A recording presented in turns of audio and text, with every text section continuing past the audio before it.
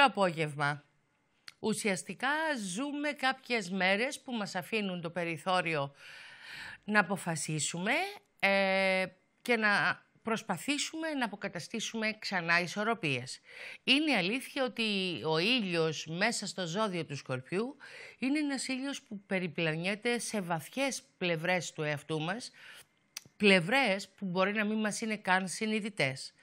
Είναι όμως εκείνο το σημαντικό διάστημα της ζωής μας που τόσο μεταφυσικά όσο ε, και βιολογικά ο οργανισμός έχει ένα μεγάλο περιθώριο να ανανεωθεί.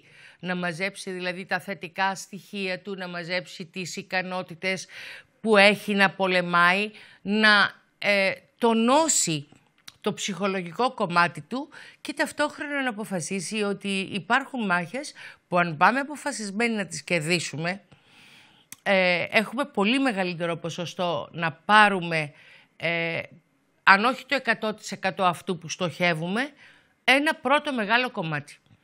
Η φύση του σκορπιού δεν θέλει λίγα πράγματα. Τα θέλει ή όλα ή τίποτε. Αυτό που είναι περίεργο είναι ότι πίσω από αυτό το ιδιάζον στοιχείο του Σκορπιού ε, υπάρχει απίστευτο πάθος και η αγάπη είναι ηφαιστειώδης, το οποίο παιδιά πιστέψτε με δεν το περιμένει κανένας από έναν ε, φαινομενικά ψυχρό, σκληρό ή σαρκαστικό ε, χαρακτήρα και ιδιαίτερα ένα χαρακτήρα του νερού ότι μπορεί όλο αυτό το πράγμα που έχει μέσα του να εκδηλώνεται με πολλούς και διαφορετικούς τρόπους. Παρόλο που συνήθως οι κατηγορίες και οι αντιδικίες ε, γύρω από τις ανθρώπινες σκέψεις και σχέσεις ε, έχουν να κάνουν με δικές μας αιμονές, βιαζόμαστε να πούμε από τον Γιώργο ή τον Γιάννη ή τον Μάρκο που γνωρίσαμε ότι αυτή είναι η σκορπιή, αυτή δεν είναι. Ε, τα τρία είδη του Σκορπιού, γιατί βασικά είναι τριάδες, γι' αυτό και χωρίζουμε ε, πρώτο δεκαήμερο, δεύτερο δεκαήμερο, τρίτο δεκαήμερο. Στο πρώτο δεκαήμερο τα στοιχεία του Σκορπιού ανακατεύονται με τα στοιχεία του ζυγού και υπάρχει η εξής ουσιαστική κόντρα. Ο μεν ζυγός δεν θέλει να πάρει απόφαση και να πάρει και το κεφάλι κανενός, Οπότε έχουμε αυτό το υποτιθέμενο μοντέλο του αναποφάσιστου ε, σκορπιού που δεν είναι αναποφάσιστος, απλά είναι σαν να μας δίνει περισσότερο χώρο, περισσότερο χρόνο, μια δεύτερη ευκαιρία. Όταν όμως όλα αυτά που μας παρέχει φτάσουν σε σημείο να τον πιέσουν και να τον φέρουν σε μία κόντρα σε σχέση με τον εαυτό του, ε, τότε θα δείτε ότι κάθε άλλο αναποφάσιστος είναι. Βέβαια δεν επιλέγει να βλάψει εύκολα τους άλλους. Συνήθως βλάπτει περισσότερο τον εαυτό του. Το δεύτερο δεκαήμερο είναι το πιο έντονο, ε, ίσως και το πιο φιλοσοφημένο μέσα στο ζώδιο του Σκορπιού. Εκεί ο Σκορπιός έχει μια κοινωνική προσωπικότητα που ξαφνιάζει τους ανθρώπους γιατί τον βλέπουν φιλικό ή προσιτό, αλλά δεν είναι ακριβώς έτσι. Δεν θα διστάσει να κονταροχτυπηθεί, να γίνει αψός ή επιθετικός ε, όταν θα υποστηρίξει τις θέσεις και τις απόψεις του. Είναι απόλυτος και εκεί ακριβώς η προσέγγιση δεν πρέπει ποτέ να γίνεται απέναντι στο σκορπιό με τα φόβου. Έτσι και δει ο σκορπιός ότι φοβάσαι, ξυπνάει μέσα του το κακό του κομμάτι και θα το σπρώξει το πράγμα να πάει όσο πάει. Είναι πιο πεισματάριδες το μεσαίο είδος το δεύτερο δεκαήμερο ε, και ίσως και λίγο πιο αυτοκαταστροφικό. Το τρίτο είδος όμως του Σκορπιού παρουσιάζει ένα ιδιαίτερο ενδιαφέρον γιατί έχει πάρα πολλά στοιχεία ε, από το ξώτη. Και εκεί ξαφνικά όλο αυτό το πάθος του Σκορπιού παντρεύεται με τον τυχοδιοκτισμό που φέρει στις φλέβες του ως στοιχείο ο αγαπητός τοξότης και έτσι αποκτούμε έναν άνθρωπο που είναι αποφασισμένος να μετρήσει και τη δικιά μας δεκάρα, να ελέξει τα πράγματα, είναι ελεκτικός, γίνεται προσβλητικός και σκληρός στις εκφράσεις του και ο στόχος του πάνω απ' όλα είναι τα χρήματα, τα χρήματα και αν το ξανασκεφτεί πάλι τα χρήματα. Αυτό στερεί από την περηφάνεια και την ποιότητα του Σκορπιού κάποια στοιχεία αξιοκρατίας. Έτσι λοιπόν, αν κάποτε αποταθήκατε σε ένα σκορπιό που σας άφησε στα κρύα του λουτρού, σας πρόδωσε, σας κοροϊδέψε, σας έφαγε λεφτά, ενδεχομένως πετύχατε το τρίτο είδος. Όλα λοιπόν τα πράγματα ε, λειτουργούν και έχουμε ένα μαγικό δίδυμο, τον ήλιο, που ρίχνει το φως του στο πιο βαθύ σκοτάδι της ανθρώπινης ψυχής, εκεί που κατοικοεδρεύει ο Άδης, αυτός είναι ο μύθος και δεν, δεν έχω δει κανέναν ποτέ πραγματικά να ξαφνιαστεί πως επέλεξαν τους αρχαίους θεούς της Ελλάδας και τα χρησιμοποίησαν και οι Βαβυλώνοι και οι Ασσύριοι και ποιος ξέρει πόσες άλλες φυλές. Έχουμε πει ότι ήταν ανίποτες οι καταστροφές που έγιναν γιατί εκείνη την εποχή η αστρολογία ε, δεν ήταν στα χέρια κανενός απατεώνα, κανενός μυριολάτρη, αλλά στα χέρια των σοφών πατέρων εκείνης της εποχής που γνώριζαν πολύ καλά τα μαθηματικά, γνώριζαν θέματα ιατρικά και ασχολιόντουσαν με την αστρο μετρία, αν θέλετε να το θέσω πιο σωστά, ε, ψάχναν ουσιαστικά τις κυκλικές κινήσεις των αστερισμών και έβλεπαν ότι κάποια στοιχεία όταν έπεφταν μια συγκεκριμένη εποχή μας προειδοποιούσαν για κάποια πράγματα. Η προειδοποίηση δεν ήρθε με την έννοια του ότι «Α, ξύπνησα ένα πρωί και τα ξέρω όλα», αλλά μέσα από την παρατήρηση. Γι' αυτό λοιπόν και τώρα που είμαστε και διανύουμε αυτό το μεγάλο κομμάτι μέχρι και τις 22 προς 23 του ε, Νοέμβρη, συγγνώμη κόλλησα, ε, θα πρέπει να θυμάστε ότι θα εκδηλωθούν πολλά και διαφορετικά δείγματα συμπεριφορών και είναι καθαρά στο χέρι μας ποια θα αποδεχτούμε και ποια δεν θα αποδεχτούμε. Τώρα αν πάλι καταφύγετε στο να μου πείτε ότι φοβάστε, δεν μπορώ να κάνω κάτι γι' αυτό. Δεν μπορώ να νιώσω εγώ γενναία για σας, ούτε να εξορκίσω τους φόβους, γιατί αυτά είναι μέσα στο μυαλό μας, έχουν κυριέψει τα θετικά στοιχεία μας, έχουν παραλύσει τον τρόπο που λειτουργούμε. Ας δούμε λοιπόν τι θα προέλθει μέσα από τα ερωτήματα που είναι υπαρξιακά, είναι πάντα σε σχέση με το οικονομικό και την ασφάλεια και την αίσθηση ότι έδωσα πολλά και δεν πήρα τίποτα. Οι τηλεφωνικές μας γραμμές ενδεχομένως θα μας το πιστοποιήσουν. Ποιον έχουμε στη γραμμή μας; Καλό σου απόγευμα Μαρία μου. Σας πάει πάρα πολύ αυτό που βάλετε. Είστε μια κούκλα. Ευχαριστώ πολύ. Ε, κυρία Χριστίνα, θα ήθελα να μου πείτε για το γιο μου που με προβληματίζει πάρα πολύ. Έχει γεννηθεί το 1976, 21 Μαΐου, τις πρωινές ώρες. 21 Μαΐου του 1976. Τις πρωινές ώρες. Δεν σας ακούω κύριε Χριστίνα. Ε, γράφω τα στοιχεία Α, για να μπορέσω να τα δω. Δεν μου είπες πού γεννήθηκες. Πού γεννήθηκε; Στη Λέρνεκα. 76. Και τι ώρα περίπου πρωινές ώρες; Ε, Μάιο 5.30. Ε, ε, ε, Γιατί έχει αλλάξει το φως πλέον. Εντάξει. Κάπου εκεί. Ναι. Με επιφύλαξη και προχωράμε, έτσι. Ναι. Να τα βάλω, τα στοιχεία του. Λοιπόν, ο γιος σου είναι η πρώτη μέρα... Ακούω ένα θόρυβο. Δεν προέρχεται από εμάς.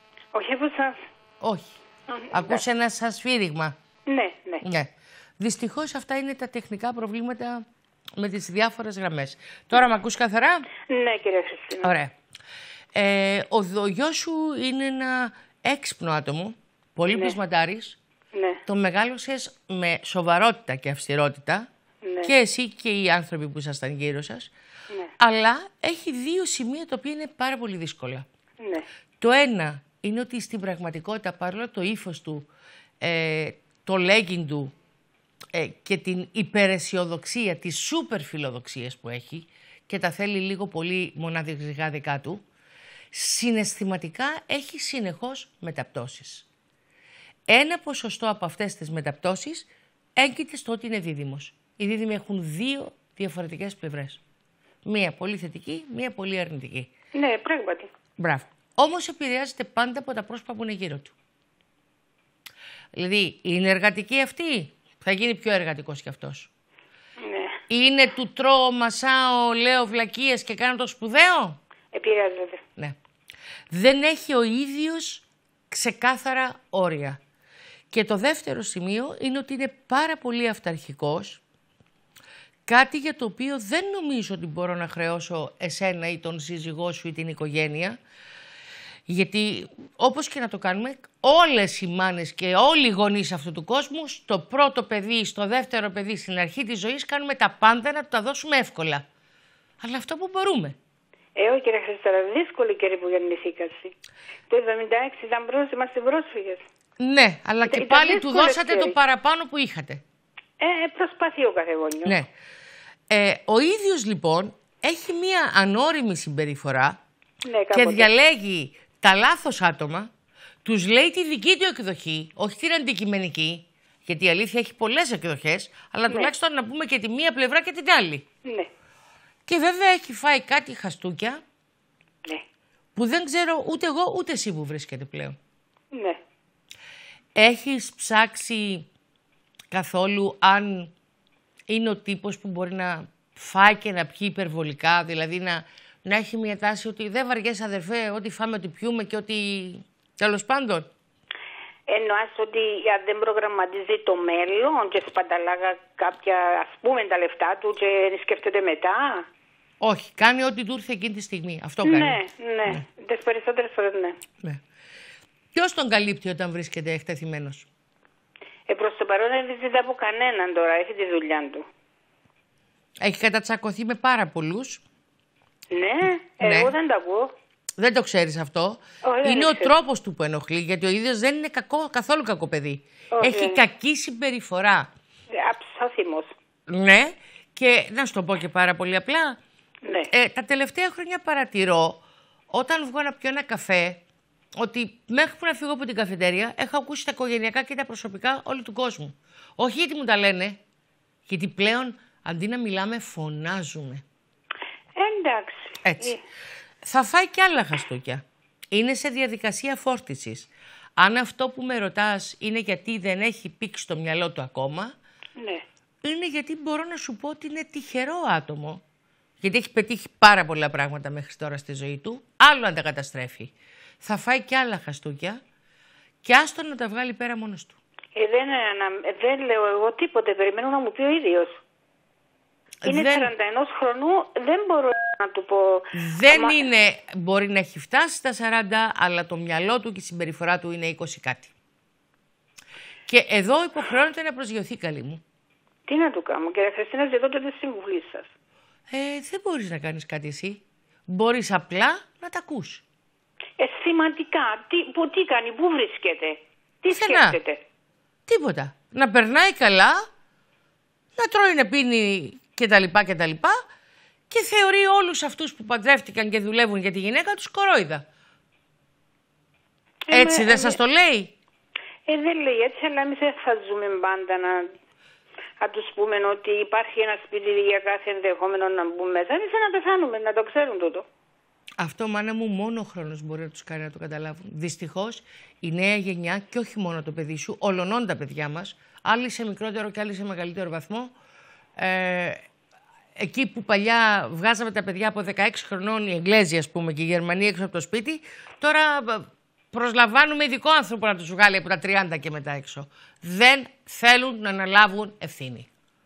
Και όσο και να διαμαρτύρεσαι, δεν θα το κάνει παρά μόνο όταν πραγματικά φοβηθεί ότι θα μείνει μόνος του. Νομίζω ότι αυτή η χρονιά είναι- θα είναι ιδιαίτερα καλή για εκείνον. Και θα κάνεις λίγο Κύριε- υπομονή. Κύριε Χριστίνα, να σας πω κάτι. Όταν ήταν μικρό παιδί, πριν να πάει στο στρατό, ήταν το τέλειο παιδί. Μετά άρχισαν κάποιε ιδιοτροπίε, κάποιες αντιδράσει. Μέχρι πόσο χρόνο ήταν το τέλειο παιδί; Ε, πριν να πάει στο στρατό. Όταν ήταν Άρα- τόσο μελετηρό, καλός, ευγενής, να κοιτάξει αυτά που Έχεις πρέπει και παραπάνω. προσέξει τελευταία ότι οι άνθρωποι δεν κάνουν παιδιά και παίρνουν σκυλιά; Ε, ε, καταντήσαμε στην αηδία. Αντί να κρατούμε τα εγγόνια μας, κρατούμε τα σκυλιά. Ναι, αλλά και εμείς έχουμε μια Ε, είναι τεράστια... λυπηρή αυτή η Μια κατάσταση. στιγμή, σε παρακαλώ. Ναι. Έχουμε και εμείς μια τεράστια ηθική ευθύνη. Δηλαδή, Δεν έχει δηλαδή. Η γάμη μας είναι αποτυχημένη. Μεταφέρουμε στα παιδιά μας τα συνεχώς τα παράπονα που έχουμε με τον άντρα μας. Με την πεθερά μας. Ε, διαλυόμαστε και περιμένουμε ε, το κορόιδο που θα έρθει να μας παντρευτεί, εμείς οι γυναίκες, και αλλάζουμε χαρακτήρα μετά. Ε, όσο και να κατηγοράμε τη νέα γενιά, τα, οι μάστιγες του πολιτισμού μας έχουν να κάνουν με εμάς. Δεν πιστεύω ότι, ότι οι 20χρονοι και οι 30 έχουν κάνει εμπορίες, ναρκωτικά και όλα τα υπόλοιπα. Και Έτσι. να σας πω κάτι. άκουσα με, δεν ναι, θέλω να μου πεις. Ναι. Τα ακούω καθημερινά. Ναι. Κατάλαβε κάτι. Πήραν ναι. χαπάρι το παραμύθι. Ούτε οι άντρες θέλουν δέσμευση, ούτε οι γυναίκες πια. Και μέχρι 18 χρονών τον έλεγε. Οι κρίσεις ξεκινάνε από την ώρα που το παιδί θέλει να αυτονομηθεί. Και εμείς, σαν κοινωνία, θέλουμε το παιδί μας να ακολουθήσει το δρόμο μας και να συνεχίσουμε να ζούμε μέσα από το γάμο του και μέσα από τα παιδιά που θα φέρει. Δεν γίνεται πλέον. Γιατί πλέον παλιά κάναμε 8 παιδιά ναι. Και τώρα κάνουμε 8 παιδιά, αλλά μας βοηθούν όλοι να τα ζήσουμε. Γιατί σημαίνει ε, υποχρεώσεις, έξοδα, σπουδές. Χάσαμε το νόημα της ζωής. Δεν μπορούμε να τους πιέσουμε, γιατί είμαστε κάλποι και εμείς ήδη. Όχι, δεν είναι αυτό. Να σας πω εγώ που το βρίσκω. Έχει απελευθερωθεί τόσο πολύ η γυναίκα, τόσο πολύ, που δεν σκύβει το κεφάλι. Ούτε να κάτσει έσω να μαϊρέψει, ούτε να δει το σπίτι της, ούτε να είναι νοικοκυρά και Αυτό ποιος το έκανε, κοριτσάκι μου; Δεν, δεν το έκανε η μάνα της; Δεν σαν κορίτσια εγώ. Εγώ έχω αγόρια. Ε, εγώ όμως που βλέπω γύρω μου χιλιάδες πράγματα, βλέπω τις μαμάδες που ετοιμάζουν το φαγητό του κοριτσιού, που του λένε και ε, βλέπουν και εκείνοι τις μανάδες τους. Λοιπόν, δεν φταίνει οι γυναίκες και εν κατακλείδη για τα χάλια αυτού του κόσμου φταίνει οι μητέρες, αν θέλεις να το θέσουμε απλά. Όχι. Εγώ, εγώ του λέω ότι πρέπει να ξέρουν απ' όλα αγόρια Το τι τους λες δεν έχει να κάνει με το τι συμβαίνει. Δεν θα λύσουμε το κοινωνικό θέμα αυτό. Α αποδεχτούμε ότι έχουμε όλοι ευθύνη. Έτσι; Και αν ο γιος σου είναι όριμος και στα 40 και στα 50 θα αποφασίσει να αναλάβει τα βάρη του. Κακό του κεφαλιού του. Ε, νομίζω ότι εκφράζεις τη δική σου απεσιοδοξία. Δεν λέω ότι είναι εύκολο, αλλά σου λέω ότι τουλάχιστον εκείνος περνά καλά. Μακάρι να περνά καλά και να ζει την υγεία του. Αυτά θα τα έχει, αλλά θα γίνουν και αυτά που θέλεις. Όχι με τον τρόπο που θέλεις. Εγώ δεν επεμβαίνω ούτε στους παντρεμένους, ούτε αυτόν τον άφησα να αποφασίσει, ούτε τους ναι. παντρεμένους τους λέω ναι, ότι θα Υπάρχει όμως η πιθανότητα στη ζωή να μην πάρεις τις αποφάσεις τις οποίες θέλεις. Είναι και αυτό μία από τις βεβαιότητες της ζωής. Ότι άλλοι θα μας μοιάσουν, άλλοι θα διαφωνήσουν, άλλοι θα πάνε στην αντίπερη ε, όχθη και άλλοι θα αρνηθούν. Δυστυχώς είναι μέρος των πραγμάτων η αγανάκτηση έχει να κάνει με ένα δικό μας λογαριασμό. Να κλείσουμε εμείς δικούς μας λογαριασμούς. Ε, Σε ευχαριστώ πάρα πολύ και θα προχωρήσω γιατί... Γιώτα. Ναι, γεια σας. Γεια σας Τι λες, ποιος θέλει για τα χάλια του κόσμου; ε, κυρία Χριστίνα μου, ναι, κορίτσι μου. η Λευκοσία έχει γεννηθεί ο γιος μου. Ναι. Ε, τρίτη, τρεις, τέσσερις τρίτου. Μια στιγμή, να το ξεμπερδέψουμε. Το 74. Λοιπόν, 4 Μαρτίου. Μαρτίου. Ναι, ναι. 1974. Τέσσερα. Και η ώρα; Μετά τις 2.30 το βράδυ. Πόσο μετά, τρεις, τέσσερις; Περίπου, περίπου έτσι, ναι. Ορίστε πολύ συναισθηματικός και επίσης φιλόδοξος. Δεν μπορώ όμως να σου πω ότι είναι ένα άτομο το οποίο έχει πραγματικά μεγάλη εντοχή. Κουράζεται, στεναχωριέται, πικραίνεται. Και τόσο αυτός, όσο και το προηγούμενο αγόρι, δεν μπορούν να κουβαλήσουν βάρη και ευθύνες και να τα κρατήσουν. Το 76, ε, που ήταν η προηγούμενη χρονιά, δεν έχει πάντα ένα σωστό πρότυπο είχε πάντα ανθρώπους που του λέγαν τι να κάνει και ίσως πιο επιτακτικά. Εσύ πάλι στο δικό σου οροσκόπιο μου μιλάς για ένα παιδί το οποίο προσπαθεί αλλά συναντάει προβλήματα, στεναχωριέται, απογοητεύεται και τώρα είναι σαν να είναι, τα έχει χάσει και δεν ξέρει τι θέλει και τι ζητά. Ισχύει αυτό; Ναι, ναι. Μου... ναι Συνέβη και κάτι συγκεκριμένο; Ναι. Γιατί εδώ δείχνει ότι τους διαλύθηκαν κάποια πράγματα. Ναι, έχει χωρίσει. Μάλιστα. Ε, ήταν ένας νεανικός γάμος; Όχι, όχι, γύρω στα 30-33. Η κοπέλα πόσο χρόνο ήτανε; Ε, τρία χρόνια πιο, πιο μικρή. Δεν μπορώ να πω ότι τα 27 είναι μια ηλικία που δεν μπορείς να επιλέξεις σωστά. Απλά αυτό το οποίο βλέπω είναι ότι ο γιος σου και δούλευε πάρα πολύ και οι φίλοι του ήταν σημαντικοί και ναι ερωτεύτηκαν, αλλά τον έρωτα τον έχουμε λίγο μπερδέψει με το να με αγκαλιάζει, να σε φυλάω, να μου κρατάς το χεράκι, σου φωνάζω μωρό μου. Ε, δεν έχουμε μάθει ότι ο έρωτας πρέπει να εξελιχθεί σε αγάπη και ότι η αγάπη έχει στοιχεία κατανόησης.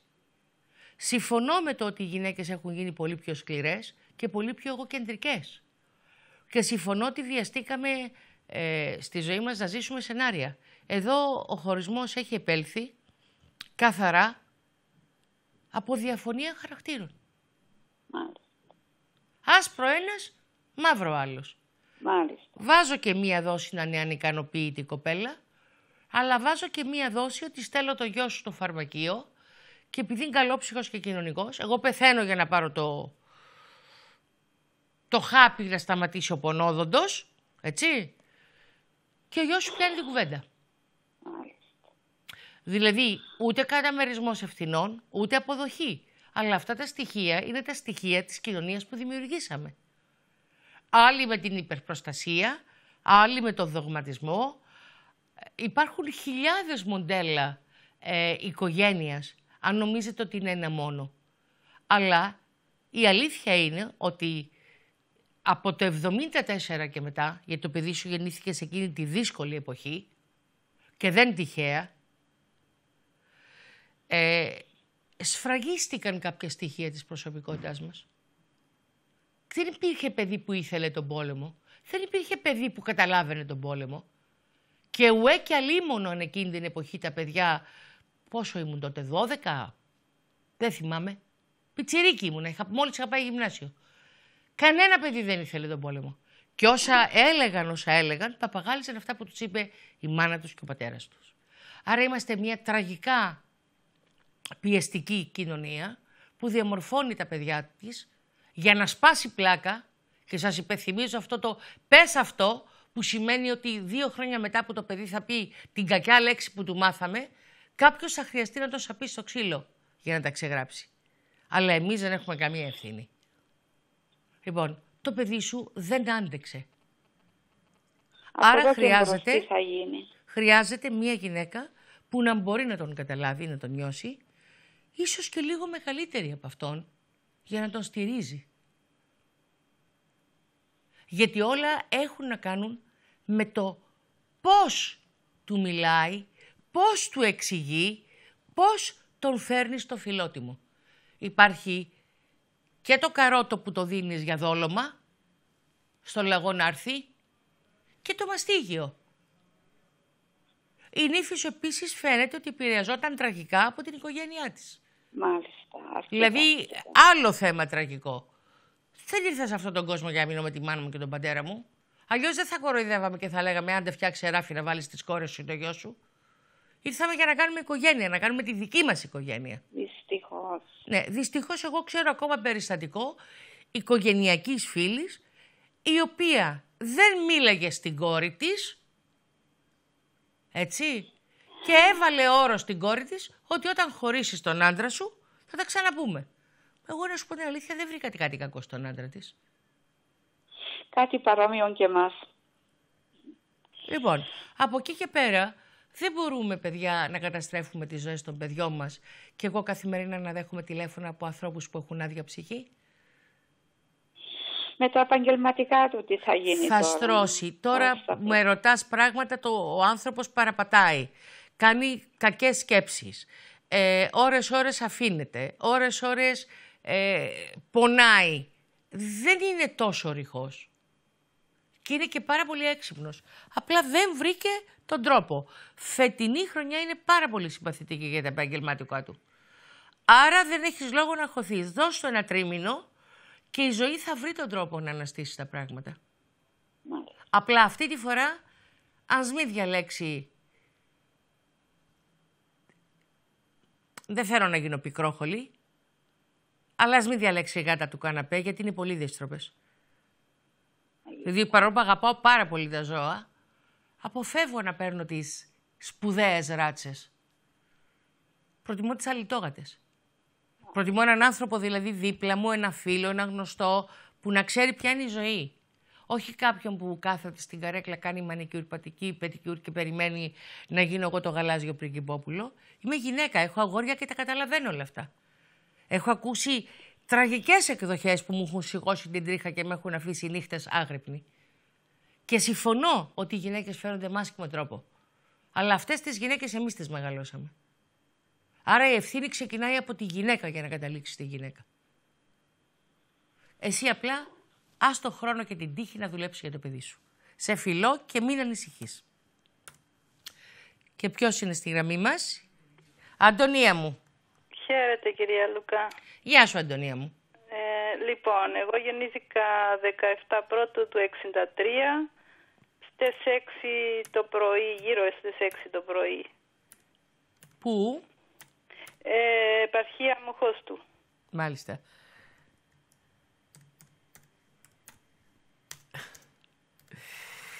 Γύρω στις 6 το πρωί. 17, οκ. Τα Ναι. ελέγχω. Όπα. Τι Λοιπόν. οροσκόπο έχω; Αυτό που προσπαθώ να βγάλω. Λοιπόν, είναι εγώ καιρός, εγώ καιρός αν είσαι γύρω στις 6 το πρωι Αλλά υπάρχει ένα σημείο ιδιαίτερο. Έχω την αίσθηση ότι για εγώ καιρός δεν βγαίνεις τόσο δυναμικά και τόσο διεκδικητικά. Δεν ακούω απάντηση. Ναι, ναι, ενώ είμαι λίγο ανασφαλής σε κάποια πράγματα, ναι. Κοίταξε, ε, το έχουμε παρατραβήξει αυτό με την ανασφάλεια. Ποιος από εμάς δεν έχει ανασφάλειες; Ναι, ναι, σίγουρα. Έτσι. Απλά ή θα το χρησιμοποιήσουμε σαν δικαιολογία, μου δείχνει ότι είσαι πολύ ευαίσθητη, ότι δεν αγαπάς τη σύγκρουση και ότι τα προβλήματα ξεκινούν από το ότι δεν τολμάς να εκδηλώσεις αυτά τα οποία θέλεις. Ναι, σίγουρα. Αυτό Έτσι, το... και συναισθηματικά υπάρχουν πολλές τριβές και είσαι ένας άνθρωπος ο οποίος μετά από λίγη ώρα, αφού θα πεις αυτό που σε τρώει και τα λοιπά, δίνεις τόπο στην οργή, το οποίο δεν ξέρω αν είναι πάντα καλό, παιδιά. Μμμ. Ναι, Και- ποτέ μου δεν κρατώ κακία. ναι, μετά Κακία από καλά πέντε- κάνεις που δεν κρατάς, γιατί Ναι, η ναι. κακία δηλητηριάζει τη δική μας ψυχή. Ναι, Αλλά λίγο πιο διεκδικητική θα βοηθούσε να ζήσεις λίγο καλύτερα. ε, ναι, σίγουρα για μένα Έτσι. θα ήταν καλύτερα. Ακριβώς. Και από ό,τι βλέπω το τελευταίο διάστημα, πραγματικά γυάλισε το μάτι σου. Έχεις εξαγριωθεί με κάποια σχόλια και ανακατέματα ανθρώπων. Εγώ συνηθίζω να αποφεύγω αυτά τα πράγματα. Δηλαδή, ε, το μεσημέρι γινόταν ένας διάλογος σπίτι μου και λέω, παιδιά, όπα, έχουμε δικά μας προβλήματα να λύσουμε.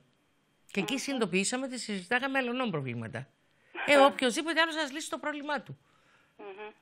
Λοιπόν, αυτό που θέλω να σου πω είναι ότι επικεντρώσεις ότι θα σε κάνει εσένα πιο καλά. Ναι, οκ.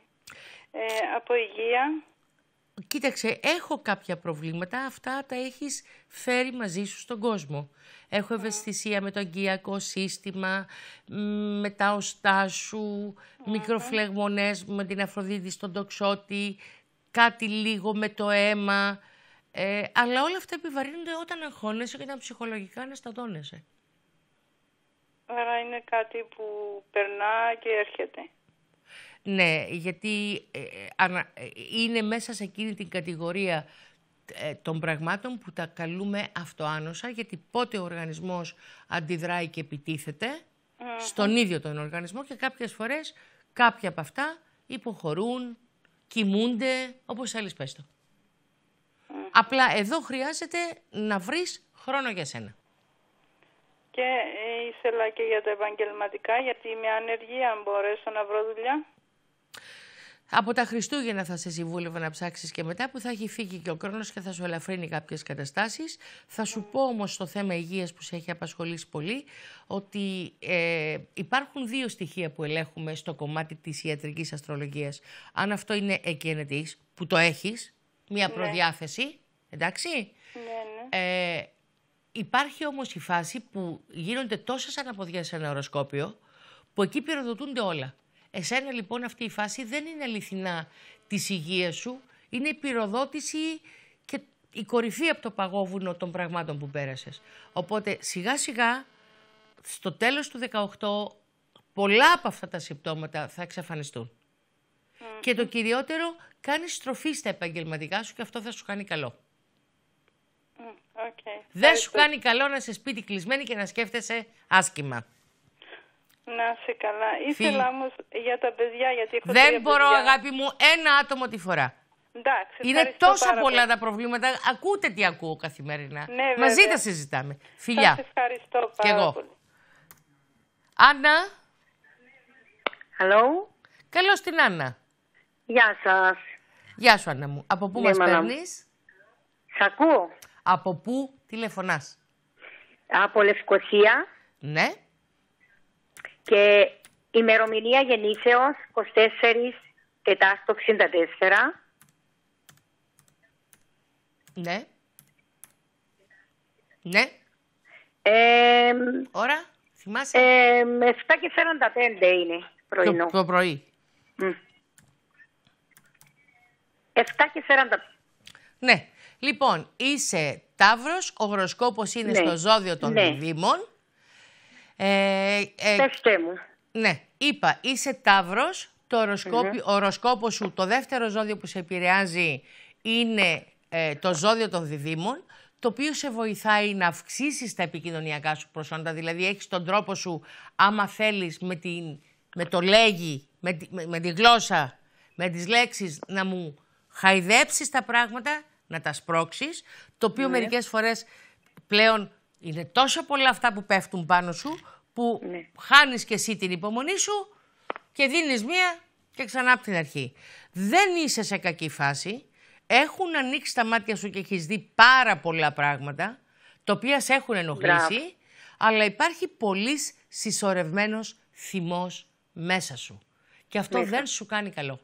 Δεν είναι απλά θυμός, είναι αγανάκτηση. Αγανάκτης. Μπράβο. Είναι το πιο δύσκολο κομμάτι. Καλή μου, θα σου πω μια κουβέντα. Πες.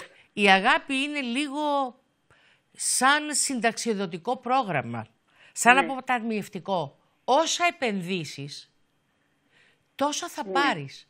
Αλλά εδώ έγινε η παρεξήγηση. Εάν εγώ ε, προσπαθώ να τα κάνω όλα απλά στα παιδιά μου και τους τα δίνω στο χέρι, αυτό δεν είναι επένδυση, είναι ισοπαίδωση. Μμμ. Εδώ λοιπόν για κάποιους λόγους αλλιώς περίμενες τα πράγματα και αλλιώς εξελίχθηκαν. Μάλιστα. και έχεις κολλήσει από εκεί, Ναι. πεισματικά, και δεν μπορείς να το δεχτείς και ψάχνεις που έγινε το λάθος. Και γιατί θα πρέπει να έχει γίνει λάθος, καλή μου; Τα παιδιά παίρνουν από 7 διαφορετικές γενιές. Χαρακτήρες είναι. Χαρακτήρα. Εδώ μεγαλώνεις δύο ή τρία παιδιά μέσα στο σπίτι με τον ίδιο τρόπο και έχεις 150 διαφορετικά δείγματα. Έχεις δίκαιο. Ναι, εγώ έχω δίκαιο. Την ενοχή Εγώ ποιος θα όμως- τη βγάλει από τους ώμους μας; Ναι. Πες το, εσύ. Ε, ναι, διαφέρουν τα παιδιά πάρα πολύ και έχουμε τόσες ε, σκοτεινές. Ε, να σου πω, είμαι, μπερδε, είμαι πάρα πολλά μπερδεμένη ε, τούτον τον καιρό. Πάρα πολλά. Γιατί είσαι τόσο μπερδεμένη; Γιατί μέσα στο σπίτι μου ζω με την κόρη μου, ζω έτσι οικογενειακά. Ναι. Και έχετε δύο διαφορετικές απόψεις. Διαφορετικές. Όπως το λες, ναι, ναι. Συνήθως Ναι. οι συγκρούσεις, καλή μου, αν το Έχω. σπίτι είναι υγιές, έτσι, οι συγκρούσεις ξεκινούν από τα 18-19 και μετά. Που το παιδί θέλει να πάρει το δρόμο του, να κάνει τις σπουδές του, να κάνει τις επιλογές του. Και που ονειρεύεται να ζήσει με το δικό του τρόπο. Εμείς πάλι θεωρούμε Ναι. και εδώ μπαίνει και η εμπειρία του Είναι ξέρουμε παντρεμένο καλύτερα. μαζί μου. Είναι παντρεμένο. Και είναι μαζί μου. Μμμ. Και ο σύντροφος της μαζί. Ναι, ναι. Οπότε Έχω. παίζεις τον άχαρο ρόλο του ότι δεν πρέπει να μιλάς. Μάλιστα. Κατάλαβες. Φυσικά και έχω καταλάβει. Ε, εγώ θα σου πω κάτι. Πες. Θα μίλαγα και με, τον, με την κόρη μου, μόνη της όμως. Και με τον γαμπρό μου. Θα πιάνα φιλία. Έτσι. Μμμ. Δεν θα ήμουν η μάνα, Ναι. ούτε η πεθερά. Θα ήμουν φίλη. Ναι, ναι. Αυτό θα βοηθούσε το ζευγάρι να καταλάβει ότι η οποιαδήποτε γνώμη καταθέσεις έχει στόχο Ναι. να βελτιώσει τη σχέση τους και όχι να τη βλάψει. ναι. Γιατί με βάση αυτά που βλέπουν και ακούν γύρω, τα παιδιά κρίνουν. Απλά ε, είμαι ο άνθρωπος που βλέπω και δεν μιλώ. τότε θα είσαι πάντα μπερδεμένη. Γιατί δεν έχεις κάνει το διάλογο να ξεκαθαριστούν. Και δεν μιλώ. Ναι. Μμ. Δεν γίνεται να μην μιλάμε. Θα με πάντα. Ε, όχι, μπορείς να κάνεις ερωτήσεις. Γιατί γίνεται ένα πράγμα; Δηλαδή, εγώ έχω ρωτήσει τα παιδιά του μου ξεκάθαρα. Ή ακόμα ε, Ναι. αντιλαμβάνομαι ότι κάποιες φορές ε, μπορεί να φαίνεται και λάθος. Δηλαδή, υπήρξε φορά Ναι. που είπα ε, κλείνω το τηλέφωνο, καταλαβαίνω, μιλάς. Και Ναι. υπήρξε φορά που είπα όχι, δεν κλείνω το τηλέφωνο, τώρα θέλω να μιλήσω. Υπάρχει θέμα. Μάλιστα. Για να μεταφέρω και τη διαφορά και το είπα. Όταν μπορώ να καταλάβω, καταλαβαίνω. Όταν υπάρχει επίγουσα ανάγκη, δεν μπορώ να πω στο Δεν χάρο μπορώ. θα πεθάνω αύριο επειδή εσύ παίζεις παιχνίδι. Εκεί είναι η λεπτή ισορροπία. Ναι. Να μπορέσεις να καταλάβει. Δεν είναι τόσο άσχημα τα εσύ- πράγματα ναι. σπίτι σου. Έτσι. Μάλιστα. Κάτι για την υγεία μου, γιατί έχω κάποια περιστατικά. Περισσότερο έχουν να κάνουν με το άγχος σου, με το ότι δεν μιλάς, την αίσθηση μοναξιάς, το γαστρεντερικό έντερα, στομάχια και όλα αυτά δεν είναι σε ισορροπία. Μάλιστα. Γιατί παιδιά αυτά που δεν βγαίνουν έξω και τα καταπίνουμε γίνονται Ναι. ένα τούβλο μέσα στην κοιλιά μας. Δεν το φάει που δεν χωνεύουμε. Είναι άλλα Ναι. πράγματα που δεν χωνεύουμε. Εγώ συμβουλεύω ένα προσεκτικό διάλογο. Ξεκινάς από αυτά που αρέσουν στους άλλους. Για το ένα μου παιδί έμαθα όλα τα καινούργια σύριαλ που κατεβαίνουν, όχι Ναι. ελληνικά. Για τον άλλο κοντεύω να μάθω να παίζω και παιχνίδια. Ναι. Δεν διαφορετικά. γίνεται να έρθουν αυτά εκεί που είμαι εγώ. Εγώ πρέπει να πάω σε αυτούς. Δεν είναι μόνο ωραίος τίτλος και π- παχιά λόγια ο τίτλος της μάνας. Σωστά τα λες. Μάνα σημαίνει ότι έχω πάρει την απόφαση να φερώ από μένα για να δίνω στον άλλον. Ναι, ο τίτλος. Να μην, να μην χάσω τον τίτλο. Όχι, Νομίζω να τον μην χάσω έχασα. την ουσία. Σωστά. Σε φιλό και συνεχίζω γιατί έχουν σπάσει γραμμές σήμερα. Χριστάλα. Γεια σου κυρία Χριστίνα. Γεια σου κυρία Χριστάλα. Ε, γεννήθηκα 5 του 11 το Λοιπόν. 52. Λοιπόν, Επαρχία Λάρνακ. Ωραία. Είσαι 5 του Νοέμβρη του Ναι. 1952 Ναι. στη Λάρνακα. Τι ώρα, Ε, απόγευμα. Ο- πόσο απόγευμα όμως. Ε, ήταν σκοτεινά είπαμε ότι γεννήθηκα. Δεν ξέρω γύρω στις 5. Εκεί θα το βάζα γιατί σκοτεινά πραγματικά είναι γύρω στις 5. Ναι. Κάτσε να δούμε αν είχε και εκείνη τη χρονιά διαφορά. Γιατί από, κά- από παλιά κάναν πειραματισμούς σε σχέση με την ώρα. Όχι, εντάξει. Ε, πιθανότατα ο οροσκόπος σου είναι στον κρυό. Είσαι σκορπιός με κρυό. Άρα θεωρώ ότι όταν αποφασίζεις να φτιάξεις το σπίτι ή να μαγειρέψεις, ε, κινείσαι με πολύ γρήγορη ταχύτητα, τα χέρια σου πιάνουν, είσαι Μπράβο. κοινωνική, αλλά είσαι πικραμένη πάρα πολύ τα τελευταία δύο με τρία χρόνια. Κάτι σε πλήγωσε, κάποιους έχασες, άλλαξε ο κόσμος, έχεις παράπονο. Έχω. Και έχεις και δίκιο για το παράπονο. Αλλά δεν βρίσκουμε πάντα το δίκαιό μας. Αυτά που μας συμβαίνουν δοκιμάζουν το χαρακτήρα μας, δοκιμάζουν το ήθος μας, δοκιμάζουν τις αρχές μας. Αυτή τη στιγμή ο Δίας είναι μέσα στο ζώδιό σου ξανά, η τελευταία φορά ήταν πριν 12 χρόνια. Μέσα στο ζώδιό σου τον Δία τον έχεις στον Ταύρο, απέναντί σου, το οποίο σημαίνει ότι η ζωή σου έδωσε πάρα πολλές ευκαιρίες, αλλά ας μην τα ακούμε παιδιά τόσο ευχάριστο. Το ότι κάποιος έχει πάρα πολλές ευκαιρίες σημαίνει ότι χάνει την πιθανότητα του να ράξει, να ηρεμήσει, να ριζώσει. Έτσι. Σε κυνηγάει ο χρόνος, οι υποχρεώσεις και όλα αυτά που θέλεις εσύ. Και Ναι. βέβαια οι άλλοι δεν καταλαβαίνουν και δεν θα καταλάβουν μέχρι που να λουστούν αντίστοιχα προβλήματα ή να φτάσουν σε ένα βάθος χρόνου που η εμπειρία πλέον θα τους κάνει να θυμηθούν για να πούν «Αχ, η μάνα μου ή αχ, ο πατέρας μου». Αυτό συμβαίνει φέτος στη δική σου ζωή. Δηλαδή, από τα Χριστούγεννα και μετά, πολλά πράγματα θα αλλάξουν Προς το καλύτερο; προς το καλύτερο. Αυτό το υπόσχομαι, ναι. Προς το καλύτερο.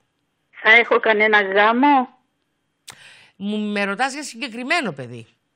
Χαρές έχεις πάντως. Για γάμο δεν είμαι βέβαιη. Προς το παρόν τα παιδιά που κοιτάω γύρω μου δεν είναι έτοιμα για γάμο. Για έναν αραβόνα, για να σου γνωρίσουν το τέρι τους και να βάλουν... Γιατί τα παιδιά, το καθένα έχει το δικό του σενάριο. Χαρά όμως θα πάρεις. Και αν δεν είναι μέσα στο 18 ο γάμος, θα είναι π.χ. στο 19. Βλέπω να αλλάζει η ζωή σου. Σε βλέπω να γεμίζουν οι μπαταρίες σου, να παίρνεις χαρά. Η απογοήτευση δηλαδή είναι γιατί τα παιδιά δεν κάναν την οικογένεια που ονειρεύτηκες; Όχι, το ένα μου το παιδί έκαμε την οικογένεια που ονειρευτήκα. Το άλλο όχι. Το άλλο μπορεί να μην θέλει να μοιραστεί το ίδιο όνειρο. Σκέφτηκες ποτέ ότι δεν ονειρεύεσαι το ίδιο όνειρο; Έχουμε διαφορές. Όχι, είναι δύσκολος ο χαρακτήρας του. Ναι. Και όσο πιο υποχωρητική είσαι εσύ, τόσο πιο πολλά θέλει αυτός.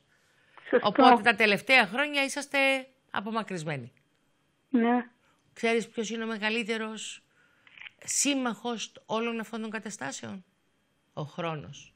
Ο πανδαμάτορο χρόνος. Αυτός που όλα τα μαλακώνει και όλα τα στρώνει. Θα πήξει και αυτού το κεφάλι το μυαλό. Μη βιάζεσαι όμως. Και μην ενδώσεις. Γιατί τότε θα γίνει εντελώς αχόρταγος και δεν θα ευτυχήσει ποτέ. Είναι ευθύνη μας και το ναι, είναι ευθύνη μας και το όχι. Πες μου για την υγεία μου, κυρία Χριστίν. Ε, θα, θα ξεκινούσα από τον θηροειδή πρώτα απ' όλα, γιατί έχεις καταπιεί πολλά και αυτό φέρνει πολλά προβλήματα και μου βγάζεις και ταλαιπωρίες με τα νεφρά σου, τα στομάχια σου. Ε, είσαι εξαντλημένη περισσότερο παρά να φοβάμαι κάτι το τραγικό για σένα. Έτσι; Ναι. Μην αφήνεις το μυαλό σου να σου κάνει διάφορα παιχνίδια. Πολλές φορές όταν πονάμε εμείς οι γονείς, λέμε το πιο σκληρό απ' όλα να κλείσω τα μάτια μου να μην βλέπω. Δεν γίνεται. Έτσι. Και σ' ακούω. Λέω δεν γίνεται να κλείσουμε τα μάτια μας και να μην βλέπουμε. Δεν γίνεται να διορθώσω μέσα σε ένα δευτερόλεπτο ζημιές που έγιναν από αναμίξεις τρίτων και χίλια μυριά όσα. Κράτα τώρα τη χαρά που παίρνεις από την οικογένεια του ενός παιδιού και δώσε χρόνο στο άλλο παιδί να οριμάσει. Μα να οριμάσει. Θα δείξει. Δηλαδή, ε, περιμένεις να σου πω αν θα οριμάσει ή αν δεν θα οριμάσει; Θα οριμάσει. Αυτό Πολύ που δεν ωραία. μπορώ να εγγυηθώ είναι σε πόσο βαθμό θα οριμάσει. Αλλά Απαγοητεύτηκα. σίγουρα αν του κάνεις χατήρια δεν θα οριμάσει ποτέ. Παγοητεύτηκα πάρα πολύ. Ε, ούτε αυτό το έχεις δικαίωμα.